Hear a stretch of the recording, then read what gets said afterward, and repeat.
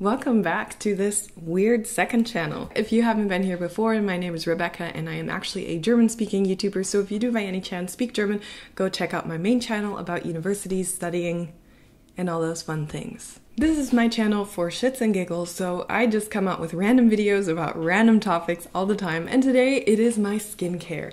Actually, a lot of you or a lot of people from my main channel asked me about my skincare, and I thought it was finally time to talk about the subject because I feel like I've really refined it. I've really like gotten it down to a perfect point. And I'm going to talk about my daily skincare right here. I do have a few masks and things, but to be honest, I forget using them all the time, so I don't even I wouldn't say I, I regularly use them. If yearly, well, technically using them yearly is also using them regularly, so these are the things that I use weekly, so at least once a week I use these things. And I would say that I have two different categories. So I have a category of skincare that is more active and that I actually bought for a reason. And then I have skincare that is luxury. And very often my family and friends give me skincare because they don't know that I love skincare. And my mom is a real Kiehl's fan. So she gives me a lot of Kiehl products. And I would say those are luxury products. So those are products that make me feel good and pampered, but they're not necessarily necessary. So my skin, before we start talking about this, now I realize I should have not have makeup on in this video, but I bulk film my videos. I, I have makeup on in other videos, so I'm gonna have makeup on in this video, but I will show you me taking off my makeup in this whole routine in B-roll. So there you go. Uh, I have oily uh, to normal combination skin and I have oily spots on my nose and on my chin. My forehead has actually been pretty okay, and I have quite visible pores. I, I hate to say large pores because I think we just have we have to start accepting our pores more. And I'm trying to accept them more so I'm going to say I have visible pores. And um, I would like to do pore management and make sure that I don't get any zits or pimples or whatever. Because what happens to me is I don't I don't get a lot of pimples or anything and I'm extremely grateful that for that but when I do they are horrible. They are very deep. They are deep deep cystic pimples. And I'm scared to death that they'll become more and like just have this culture on my face.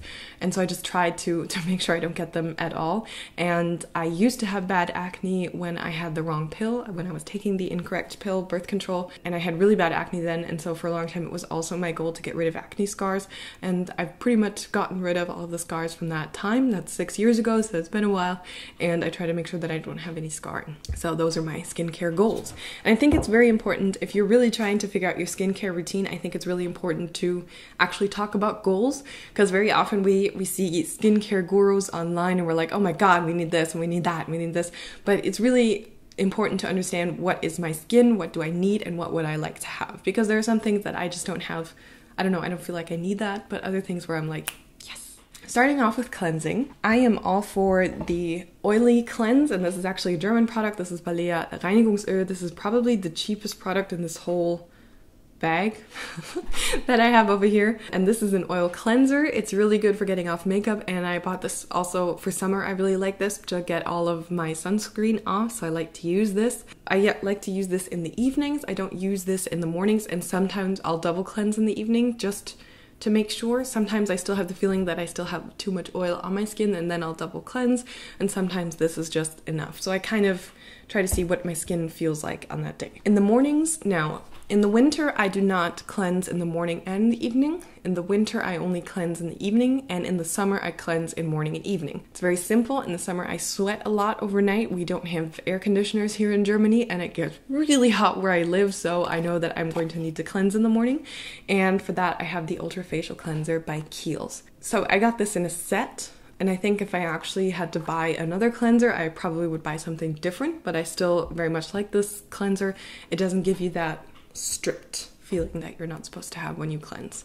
Um, so I really like this. So the next step, if you are not familiar with skincare, you you try to go from like the lightest texture to the heaviest texture. So after cleansing, the next step is toner. Toner is not necessarily a step that is necessary. I just enjoy this step. This is something, I guess, luxury. This is one of the luxury things. I just really like it. I like having my skin moist and it just helps absorb the things from the next steps. So, what I have for toner is I have two toners. One is this Paula's Choice toner, it's the pore reducing toner with niacinamide from the Skin Balancing series. And I actually got this as a sample for free and I just loved it. Can't really say why, but this product is just, when I put this on, my skin feels great. It feels hydrated, it feels it doesn't dry out even if the toner dries on my face sometimes i'm not quick enough on applying the next step on applying serum afterwards but even when it does dry, it doesn't feel super dry. I just, I love the feeling that this toner gives me, and I don't think it's necessary. It does have niacinamide in it, so that's one active ingredient that can help like manage pore size and also control oil a little bit and help with hydration. Niacinamide is actually really great. But yeah, I don't think you need this, but it's just a product I enjoy. I, I just enjoy this product. The other toner I have is actually one of my actives. It's the glycolic acid 7% toning solution by The Ordinary. There are two different acids you can use in skincare, and if you've seen skincare gurus, they can explain it a lot better than I can. But there are essentially AHAs and BHAs. There are also PHAs, but I kind of don't get what they do. Still have to figure that one out.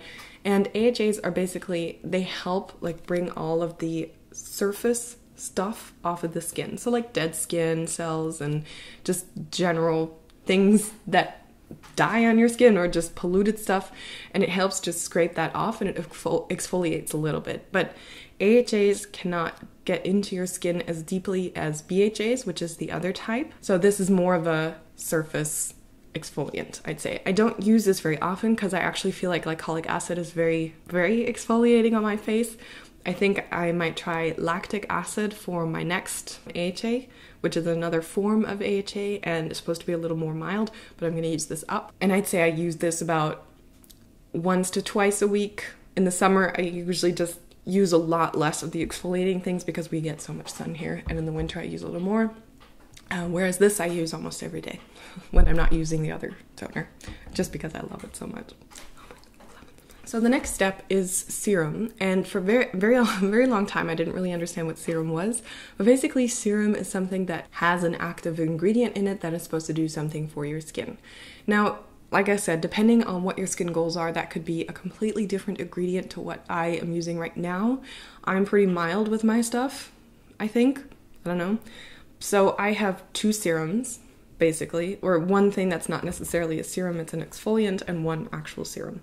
So let's talk about the serum first. This is the Ordinary Niacinamide Serum. Basically, I get this because this is my everyday serum. If I'm not using anything else, if I'm not using another exfoliant, I will put this serum on. And because I go through it like crazy, I want to get the Ordinary because it's less expensive than others. However, I am not super happy with the texture. I feel like this niacinamide can be very sticky. I'm tempted to try maybe like Glossier's niacinamide. That one's supposed to be a lot better in texture, but since I use this so much, I just I can't wrap my head around spending I don't know 30 to 40 dollars on on a niacinamide serum just because I use them so much. If I'm not using this serum, I will sometimes use this exfoliant actually, if I had to pick one thing I could keep, it would probably be this exfoliant. So this is the Paula's Choice 2% BHA liquid exfoliant. And as I mentioned before, there are AHAs and BHAs. And BHAs are the exfoliants that can get into your skin more deeply than others. And it can help like reduce sebum. So the the stuff that your pores produce that sometimes protrude like out of your pores and you think it's like whiteheads or blackheads, but actually it's just sebum. So like old oily stuff and dead skin cells and this really helps remove this. And this is probably the thing I've seen the most results with because as I have visible pores I do they fill up with gunk all the time. And I have I would have like a lot of these like white spots. And I thought they were blackheads or whiteheads for a really long time but then I found out it basically is this sebum or sebaceous filament or whatever they're called and this really helped eliminate that especially on my chin I had it all over my chin I really had that pore thing and this was really the best I use this maybe once or twice a week now in the summer, I really only use it once a week, and in the winter, I'll probably use it more often again. A lot of people apply serums and stuff differently. I usually just apply it to my hands and then to my face, and my hands I wash before I do the whole routine. So that's kind of what I do. So I have several moisturizers here. During the day, I like to wear this Ultra Sheer Daily Defense Broad Spectrum SPF 30 by Paula's Choice. I'm not super happy with this cream. It is Moisturize AM. I think I'm gonna try one of their other creams, or I think I might go back to moisturizing and doing sunscreen separately. I put this on. When I stay inside of the house, I'll wear just this because it's SPF 30, so I do have some sunscreen in there. And when I leave the house, I will put more sunscreen on, which is right now the Missha sunscreen, the Aqua 50 Plus, SPF 50. Yeah, but I, I don't like this moisturizer that much, so I'm probably going to test another one of theirs.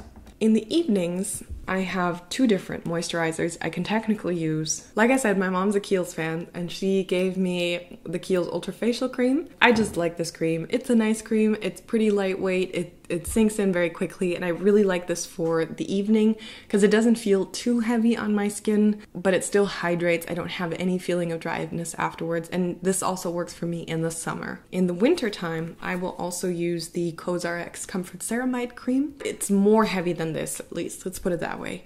And you can really notice that this is an occlusive. So it basically like barriers up the skin so it doesn't lose any moisture in the evening and I really feel that. And in the winter I feel like I need this, but in the summer not so much. So I usually don't use this in the summertime, but I will use this in the in the winter time and then I'll just rotate between the two every evening. Uh, so I have another active that I use. So, so far we've had one AHA, one BHA, and niacinamide. And niacinamide is my daily go-to. The other ones I use like once to twice a week, depending on what I feel my skin needs. And then I have one other active in the form of a cream, which is this retinol cream, this LilyAna Naturals. This is a 2.5% retinol, which is pretty strong, but I have been using retinols for a very, very, very long time. Um, it was one of the things that really helped me get rid of the acne scars. And back then, I started, I think, at 0.5% and worked my way up, and which is why I'm now at this cream. I have tried several different creams in the past. I don't really have a favorite. I think as long as there is actually retinol in whatever you're looking at, it is going to make a difference. The really important thing is though to to just to start slow, start at your really low concentrations and if you want to work your way up, if you don't want to, you can just stick to one part and just stick with that. I think after I empty this retinol cream, I'll probably get one with a lesser percentage just just because I don't think I need to be putting on this much at 27, but I just wanted to try it because I heard it was supposed to be super good and it's really cheap. so I'm always on the lookout for a bargain. Yeah, and what I actually like about this is that it, the ingredient list really does start with organic aloe and then aqua, and a lot of uh, ingredient lists start with water and then the other stuff and this one actually starts with aloe and this is a really really hydrating cream. So even though it does have an active in it and I really do notice that it does something on my face it's really hydrating and still very mild. And if I use retinol I will only cleanse and then just put this on. So I don't even use toner, I just cleanse, put this cream on, and just leave it at that. I usually don't mix my actives. You can stack a lot of actives. You have to be a little careful with retinol, but most of the other actives you can stack, especially with niacinamide. But I'm just really particular about not mixing them. I just don't do that for some reason. Let's go through this again. In this, so in the morning, in the summer, I will use a cleanser. In the winter, I'll just splash water on my face and then I will go in with my toner and usually with niacinamide and one cream, one uh, AM cream, but I'm going to try a different one. In the evenings, I will go in with my oil, with my cleansing oil actually, and sometimes depending on what I feel like, I will double cleanse just to make sure I don't know, I guess. Depending on what active day it is, I will use either an AHA as my toner or I will use this as my go-to toner. I just love this toner. And then I have several active options. So either I go in with an exfoliant with my BHA or I just use my niacinamide again. Yes, again. And then I have my moisturizers, which are either these. In the summer, it's usually only this, and in the winter, I alternate between the two. Oh, and I forgot my eye cream. Or I will just cleanse and use retinol depending on the day. I did forget my eye cream.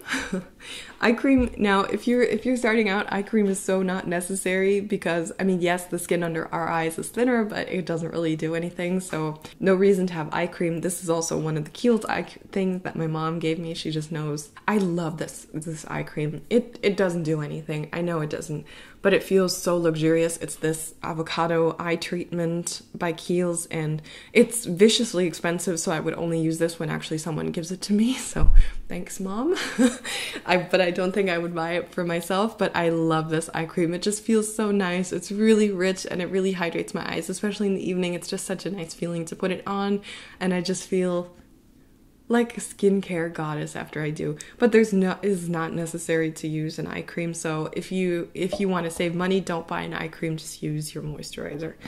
You're fine. Oh yes, in the morning I always put on SPF. That's basically all of my skincare. I know it's it's not it's not a small amount, but I really did think about which actives I wanted. So for me, that was an AHA, uh, BHA, niacinamide, and retinol. The AHA is in form of glycolic acid, the BHA is in form of salicylic acid, niacinamide is just niacinamide, and retinol just retinol. Let me know in the comments what you think of my skincare routine. You might not like it that much, so I don't know. Skincare is something that is so so personal, and there's so much stuff out there, and I I don't know, just let me know what you think. I will see you soon for the next video. I don't know what the next video will be. Maybe I'm a capsule wardrobe or something like that. But yes, I'll see you soon.